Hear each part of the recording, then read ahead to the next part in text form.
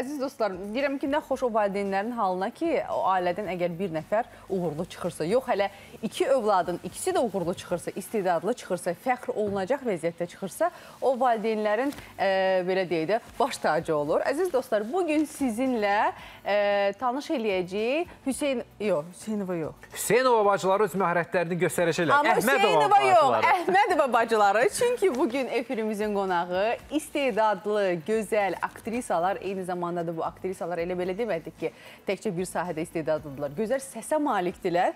Ə, Mənsurə Əhmədova və Nigar Əhmədovadır qonaqlarımız. Xanımlar, xoş gəlmisiniz. Çox şadıq sizi görməyə. Xoş gördük biz də. sabah. Necəsiz?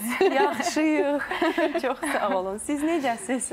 Biz də yaxşıyıq. İndi bir şey... Deməli, Hə. sağda əyləşən Mənsurə xanımdır, soyda əyləşən Nigar xanımdır. Dillər əkiz bacılar, oşurlar. Yaş fərqi aranızda e, kişi soruşmaz, başa düşdüm sən soruş. Bir dənə sağ ol, soruş. Aranızda nə qədərdir? Kim daha böyükdür, belə deyək onda? Mən daha böyüyəm. Mən soruşmadım, soruşdu. Neçə yaş fərqiniz var aranızda? 5. 5 yaş. Aha. İndi üçüncü salda olacaq ki, neçə yaşınız var? Onu soruşa. O məsələyə girmirik. Hətta yadıma düşdü ki, belə bir mem var idi internetdə. Əgər e, sən e, kiminsə hansısa xanımın yaşını soruşmaq istəyirsənsə, Çin qoroskopuna görə hansı bürcə aid olduğunu e, düşün. Minus, plus minus 12 il olacaq da. O ilə də hesablamaq olur. Təxmin eləyəcəksən. Bilək ki, o suala da cavab vermək. Ə, əziz bacılarımız, bilirik ki, Bülbül adına orta ixtisas musiqi məktəbini bitirmisiniz, klassik musiqi üzrə fortepiano təhsil almısınız, festivallara, müsabiqələrə qatılmısınız. Hələ hər biriniz bir vaxtlar çox məşhur Yeni Ulduz müsabiqəsinin iştirakçısı olmusunuz və eyni zamanda irsi olaraq musiqi ilə də doğulmusunuz. Bu tamaşaçılara mən istərdim məqamı xat xatırlatmaq üçün söyləyim. Böyük Vaqif Mustafazadənin məşhur Sevil ansamblının üzvlərindən olub bu qızlarımızın anası.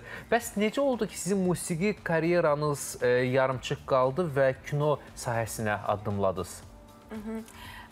Əvvəla demək istəyirəm ki, Bülbül adlı orta ixtisas musiqi məktəbini mən Siz, bitirmişəm. aha, ona görə sizə baxdım orada. Cəm şəkildə deyirdim amma aha sizə fokuslandım.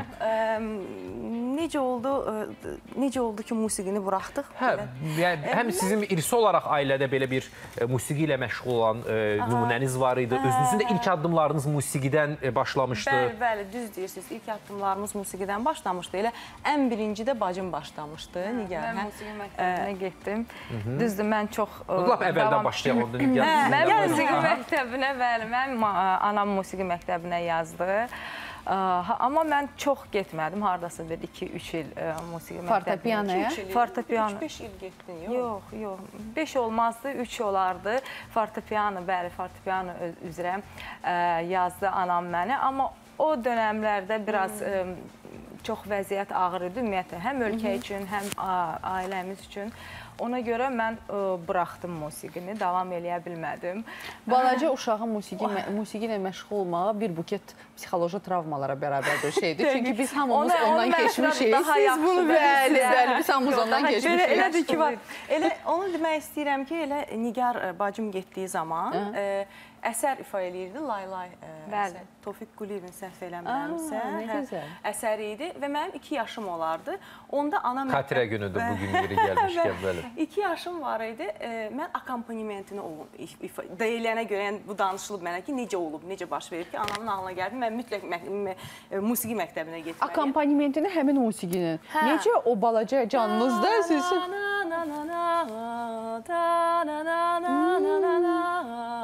Bax o akompanimenti 2 yaşında uşaq Qarmoniyalarını belə özünüz Bu qurmusunuz. səsi işlətməmək heyfdir musiqi ilə. Onda anam eşitdi və düşündü ki, 2 yaşında uşağın belə təmiz oxumağı mütləq gərək ki, yəni çox yaxşı bir sluxu, yəni eşitmə qabiliyyəti. Həm də deyəsən ananız özü də bir ansambl, bir e, bir ansambl yaratmaq istəyir, Biz bir bu qrup yaratmaq səhnəni istəyir. dinləyə bilərik Hə, hal-hazırda. Hal-hazırda dinləyə bilərik. Sar gelin saçın ucun örmezler Gülün solu dermezler. Sar gelin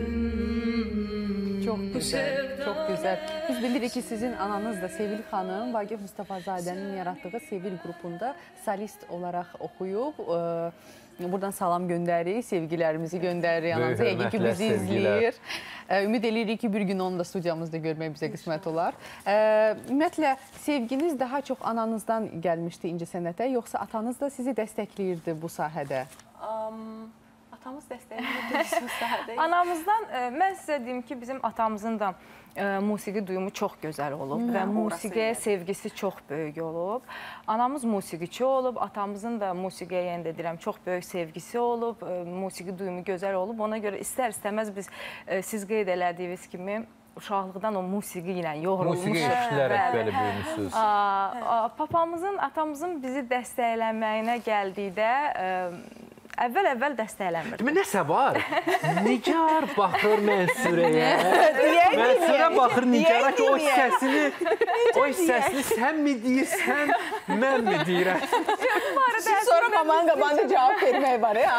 Ya, anamız ə, dəstəkləyib bizi həqiqətən, amma atamız ə, ilk əvvəllərdə Bəs dəstəkləmirdi. bunu Yox. aktyorluğa da aid eləmək olar, yoxsa?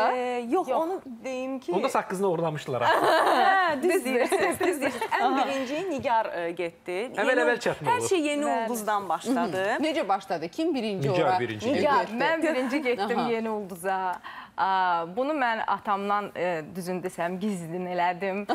Aa, Təsadüfən axşam televiziyanı açdı, dedin ki, qızım oxşur yox, mənim. Nigar yox, hardadır? Tam ona belə olmadı, çatdırmadım. Ona çatdırmadım. Qorxdum ki, atam özünü halı pis olar. Ona görə dedim qoy mən ona özüm deyim və artıq mən final mərhələsinə keçəndən sonra seçim turlarından sonra mən atama getdim dedim ki, bəs belə-belə. Atam ata da rəng aldı, rəng verdi. altı ay bizlə çox da- əsəbləşdi. danışmadı. Bəli, mənimlə Altı 6 ay ay danışmadı. danışmadı ümumiyyətlə. Ay, ay, Yəni ay. bizdə belə bir şey Olmayıb. o Görünməyən yox bir idi. şey ki, Yəni bu ailədə. görünməyən bir şeydi. Yəni necə Belə yəni bir şey ata-bala olsun. Amma danışmasın? əsən Məndən o ki- qədər küstü ki, danışmadı mənimlə. Sən ki, amma- buna baxmayaraq, ə, Mənsürə bundan qorxmuyub. Mənsürə də gedib ata da fikirləşib ki, yox mən iki qızımla 6 ay artıq danışmaya bilmərəm. Yaxşı, mən razıyam. Yox, Daha sonra sonralar yumuşalmışdı Mənsürə özü danışdı. Hə, daha sonralar ə, ə, əksinə elə bir m, qürur duyurdu, yəni fəxr eləyirdi. Çünki ə, bir çox yerlərdən ə, xoş sözlər eşidirdi və başa düşürdü ki, yəni ə, belə bir şey burada qorxulu bir şey Əslində mənə yoxdur təəccüblü yəni gəldi atanızın reaksiyası. Çünki ən azından onun ömürgün yoldaşı, onun xanımı. Sevil qrupunun, yəni solisti olaraq çox böyük bir statusa, hörmətə, dəyərə malik idi və onun yaradıcılığı da özü bir yaxşı şəxsi nümunə idi. Hə, atam amma istəmirdi ki, biz bu yolla gedək. Çünki ə, düşünürdü ki, çətin bir yol ola bilər. Ə, yəni istəyirdi bir başqa yolla gedək. Nə bilim, atam özü ə, tamam başqa bir aləmin in- insanı idi. Bəs Amma çox musiqi duyumu, bacım da dediyi kimi, çox musiqi duyumu Bəs filan. bu qədər altı aylıq- zövqü var idi, çox gözəl bu, zövqü buna var idi şübhə etmirik. Bu qədər küslü qalmalar, bu qədər mücadilələr, bəs niyə o yolu yarımçıq qoydunuz, gəldiniz kino sahəsinə? Biz əslində o yolu yarımçıq qoyduq. Ə, ə, Tam da deməzdik da, amma Hə, tam da deməzdim ki, Amma əsas fəaliyyətiniz kino ilə bağlandı. Düz deyirsiniz, amma davam da eləmədi. Çünki e, biraz çətinliklər oldu açığı. Yəni Mən şəxsən öz tərəfimdən deyə bilərəm ki, mən biraz ə, müs müsabiqəyə qatılanda mən hər şeyi çəhrayı ə, eynəkdən gör baxırdım da. Elə bilirdim ki, hər şey belə çox asandır. Hə. bu gün də elə baxırsan, dənizin paltarını elə Bəli, görürsən. dənizin, dənizin paltarına heyranam, rənginə heyranam, çox Oo, gözəl o da biraz da eynək rəngi getdi. Bay bay bay. Yox, həqiqətən mənə elə gəlirdi ki, mən müsabiqəni bitirəcəm. Ondan sonra ə, mahnılar, ə, yəni televiziyada çıxışlar, radio filan. Ondan sonra mən artıq sonra yerə endim. Başa düşdüm ki, bunlar hamısı müəyyən maliyyə tələb eləyir və s. Bunun arxasında başqa şeylər durur və mən başa düşdüm ki, mən buna ə, yəni hazır deyiləm. Mən buyurun bitirim fikrinizi. Bəli, bəli, bitirdim Mən artıq. Mənsurəyə baxanda o dəqiqə fikirləşdim ki, Mənsurə ilə ilk tanışlığımız necə olub? Demək biz Mənsurə ilə bir serialda çəkilirdik və serialda Mənsurə müsbət personaj idi. Mən mənfi. Mən gəlmişdim Mənsurənin ailəsini dağıtmağa, ərini əlindən almağa və gəldim, dedim salam Dəniz Tacəddin. Dedi çox gözəl Mənsurə Əhmədova. Dedim gəl yəqin sizin ərinizi əlinizdən almadı. Dedi, nəhayət ki, hardaydın? O elə əlindən alınmalıdır.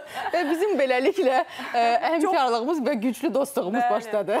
Bəli, bəli. Ümumiyyətlə ə, qızlar, mən istərdim elə sizin aktyorluq karyeranızdan da başlayaq. Belə bəzən elə sənətlər olur ki, ə, sən sənəti deyil, o səni seçir. Sizdə də belə olur. Necə oldu ki, siz məhz çəkilməyə başladınız? Bildiyimə görə sizin filmoqrafiyanızda həm televiziyada, həm də kino sahəsində yetərli qədər layihələriniz var. Amma Uğurlanmış Arzular debüt işiniz olmuşdu bu serial sizin, yoxsa ondan əvvəl də var idi? Ə, yox. Mən ora qədər gedib çıxa bilmişəm, o seriala Düz qədər. deyirsiniz. Yox, düzdür. Çünki e, ilk işim elə uğurlanmış bir 10 ildən artıq bir vaxt olar ki, hə, o mənim ilk işimdir. Uğurlanmış Arzular serialı ilk işim olub mənim. 2013-cü il. Əslində serialların 2012, 2013 13-cü belə. il. Bum vaxtı idi seriallar. Hə, hə, o vaxt təzə başlamışdı və bum vaxtı idi. Ha, Hal-hazırda biz görüntüləri də izləyəcəyik ə, uğurlanmış arzulardan yoxsa ata ocağından? Ata ocağından izləyək. Hə. Tamam. Ə, əziz dostlar, eyni zamanda da ə, xanımlar mən istəyərdim tamaşaçıların da nəzərinə çatdıraq ki, ə, siz Mənsurə xanımla ə, Nigar xanımı birgə son addım layihəsində görmüş ola bilərsiniz. Səhv eləmirəmsə Adil Azayın rejissoru olduğu bir layihə idi. Ə, Adil, Adil Azay- Azay deyil idi, yox, Gəray Həsənov Gəray idi. Həsənov Amma idi. Adil Adil Azay da işləyirdi, bəli, kömək yəni. eləyirdi, bəli. və Mənsurə xanımı daha sonra Dərs filmində, Şekspir filmində və Mozalanın biznes ə, hissəsində ə, çəkilmişsiniz. Amma Nigar xanımı bu yaxınlarda, hətta keçən il səhv eləmirəmsə, kinoteatrlarda nümayiş olunan Evdə qalmış bədii filmində izləyə bilərdiniz.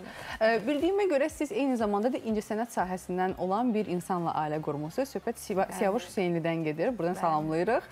Ə, Siyavuş bəy eyni zamanda da prodüserdir, aktyordur və bəli. rejissordur. Bəli. E, e, sənət insanı ilə ailə qurmaq necədir?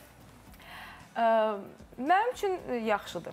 Mənə görə yaxşıdır. Siz yeni ulduza, Siyavuş müəllimə bu tərəfində fikrini alın. yeni ulduzdan tanış olmuşdunuz, Bəli, düzdür? biz yeni ulduzda tanış olmuşduq. Yeni ulduzda. Ulduzlarınızı barışdırdı. Bəli, Bəli. yeni rejissor ulduzunuz- idi özü. Musiqi ilə ulduzunuz barışmadı düzdür, amma Bəli, əsas bəli. Tale ulduzlarımız Siyavuşla barışdı. bəli, bəli, barışdı. E, e, taliyemiz bəli, ulduzumuz barışdı. E, onunla incəsənət adamı ilə mənim üçün normaldır. Mənim üçün normaldır ona görə ki, o məni daha yaxşı başa düşür. Mən belə fikirləşirəm ki, danışmağa hər zaman Yəni hər zaman bəli, bir-birimizi daha yaxşı başa düşürük. Misal üçün çəkilişlərdən gec gələndə bilirik də, yəni ki, yəni bu elə belə gec gecikmələr deyil, nəyə görə gecikirik, nəyə görə gec gəlirik və s. və bu kimi müəyyən nüanslar var ki, bir-birimizi başa düşürük. Biz bir müddət hətta bir yerdə işləyirdik də, o o qədər də asan deyil. o qədər də asan deyil. Sualı bir qədər e, həm də sizin ikinizə mən şamil etmək istəyirəm. Ümumiyyətlə eyni sənətdə, eyni sahədə olaraq çalışmağın, yəni bir bacı kimi nə kimi üstünlükləri və yaxud da çətinlikləri var? Hansı məqamlarda bir-birinizə köməksiniz, hansı məqamlarda əksinə ola bilirsiniz? Ə, əksinə ola bilmirik. Əksinə, yox, əksinə Ancaq olmur. bir-birimizə dəstək oluruq, bir-birimizə kömək eləyirik. Bir yerdə işləmək maraqlıdır, bir yerdə işləmək gözəldir. Bizim o ə, son addım Dəniz xanım da qeyd elədiyi kimi bir yerdə işlədiyimiz serialda bir yerdə işləməyə çalışmaq çox maraqlı idi. Yəni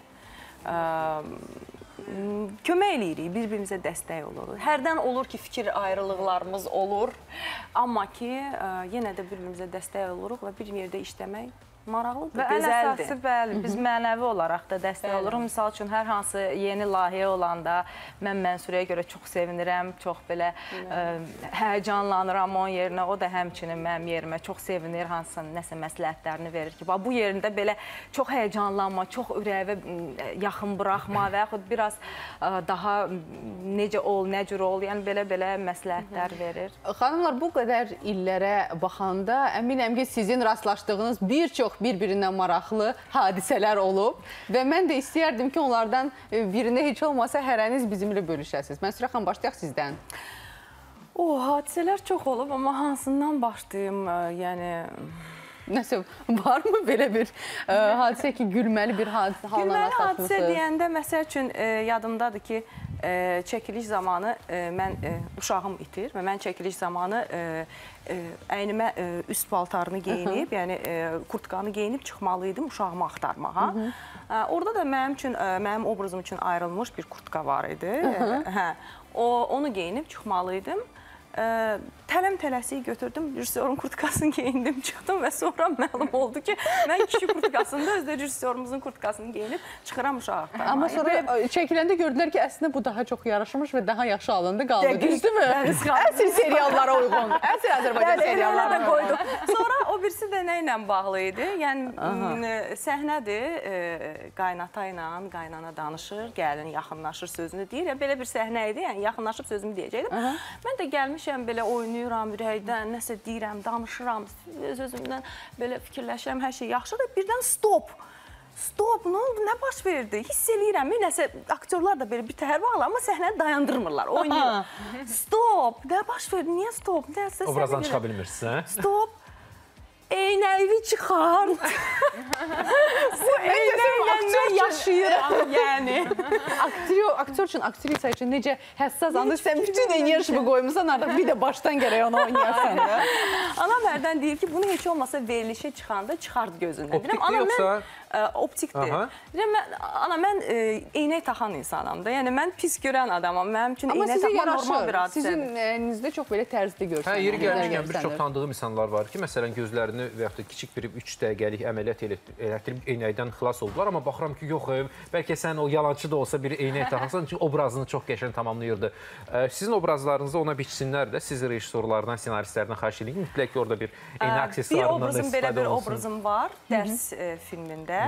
E, Rəfiqə müəllimə obrazı. Orada elə Hə, olmazsa olmazdır Hə, yəni, müəllimlərimizin. yəni, hə, Mən xatırlayıram sizi o filmdə. Elə, hə, orada elə. Yetərincə uğurlu Ə, olmuşdu. ananız bugünkü yaradıcılığınızla bağlı nə fikirləşir? Həmçinin atanız məsələn bu gün hansı fikirdədirlər, hansı mövqeydədirlər, hansı məsləhətlər içindədirlər sizə qarşı bundan sonrakı yaradıcılığınızla bağlı? Bunu ayrıca soruşacağıq, amma öncə böyüklərinizin fikri bu gün bir tamaşaçı kimi sizə reaksiyaları. Anamın. Aha. Anamız çox dəstəyi olur bizə. Baxmayaraq ki, yəni yəni bu sənət yolu ümumiyyətlə çətin bir yoldur. Çox çətin bir yoldur, amma yenə də o qədər sevirik sənəti, o qədər ürəyimiz, qəlbimiz ondan döyünür də belə deyək. Yəni o bizim bir parçamızdır. Genetik olaraq da bu Hə, bəli, genetik olaraq düz, düz deyirsiniz. E, Mümkün deyil. Yəni nə qədər də o özümüzü fikirləşsək ki, e, bir başqa yol filan olmur. Yenə də e, yəni artıq 10 ildən artıqdır ki, bu işlə məşğul oluruq. Anamız dəstək olur. Anamız dəstək olur. Sağ Anamız ilk olsun. gündən elə dəstək olub. Hə. Əminəm ki, atamız da dəstək olardı. E, Çünki son e, illər çox qürur duyurdu. Mənsura bayaq qeyd elədi. Allah rəhmət eləsin. Bir, iki, olsun. bir neçə il öncə atanızı itirmişsiniz. Ruhu Bəli, şad olsun. E, Yəni ki, bəli, o, o, o, baxımdan e, bəxtimiz gətirib. Nigar xanım, biz Mənsurə xanımdan çəkilişlər boyu maraqlı hadisələrlə e, belə bir neçə hadisəni öyrəndik və sizdə olubmu? Mən də bax elə bayaq qeyd elədiniz evdə qalmış filmində e, keçən il bizim çəkilişlərimiz oldu. Deməli o filmdə e, ən belə e, mənə e, təsir eləyən səhnə mənim şillələnmə səhnəm idi. Deməyin ki, həqiqətən o. həqiqətən o, həqiqətən. Və bu Heç olmasa burada əlinizi qoyardılar Onu belə bir imitasiya eləmək almış olmaz. kimi gələrdi. İmitasiya eləmək olardı, amma mən ə, düzünü deyim, imitasiya eləmək üçün onu ə, texniki tərəfini çox ideal bilmək lazımdır. Mən öz tərəfimdən deyə bilərəm ki, mən onu ideal bilmirdim. Yalan nə danışım. Mən onu texniki oynaya bilməzdim. Siz şillə vururdunuz kiməsə? Mənə şillə vururdular. Ona şillə, ona şillə. Mənə vurdular. şillə vururdular və bu bir dəfə, iki dəfə, üç dəfə, hətta Üzr beş istəyirəm. dəfə olmadı. Bunun bu texni- çox oldu. Hə? Do- Bunu texnik tərəfini kim, də. kim yaxşı bilməlidir? Şillələyən yoxsa Məncə hər şillələnən? iki tərəf Mən təklif bilməlidir. ki, Ə, siz elə olanda rejissordan xahiş eləyərdiniz ki, gəlin sizi qoyaq, sizi Yox, şillələyək, ə- siz hiss eləyin, göstərin necə olmalıdır, ondan sonra Yox, biz yox, eləyək. mən burada Onu mən- ağrıdandan mən sonra bunu burada onu qeyd istəməyəcəkdi. edeyim ki, Valih bəy, Valih Əhmədov filmin rejissoru dəfələrlə mənə dedi ki, Nigar, gəl həqiqi vurmayaq da bunu. Hə. Mən özüm dedim ki, yox, vuraq, həqiqi vuraq. Sumazaqsız eləmisiniz də. Rejissor müəllim neynəsin? Siz, e, nə bilim, mən çünki istədim o e, hissi həqiqətən də yaşayım, həqiqətən Bəlkə də də qarşılıqlı reaksiyanın daha Bəli, qarşılıqlı reaksiyanın Gerçək daha olması gerçək olması üçün nə qədər olursa, nə qədər gözəl texnika oynayırsansa oyna, mən mən belə düşünürəm ki, yenə də bəzən getmək lazımdır belə. Bu xəşən bizim verilişimiz belə şiddət notları zət istəmirəm səhər-səhər Yo, yo. tamaşaçıları. o, o qədər o qədər gözəl hava var idi ki, yəni heç bir şiddət falan yox idi. Estağfurullah, Çox zarafat maraqlı üçün idi. deyirəm. E, hazırda bəs qızlar nə edirsiniz, nə ilə məşğulsunuz, nə etmək arzusundasınız? Ə, Hazırda deyim ki, belə e, çox ürəyimə yatan bir e, proyekt e, ki, mən onu işləmək istəyim. Deyərdim ki, hələ ki yoxdur.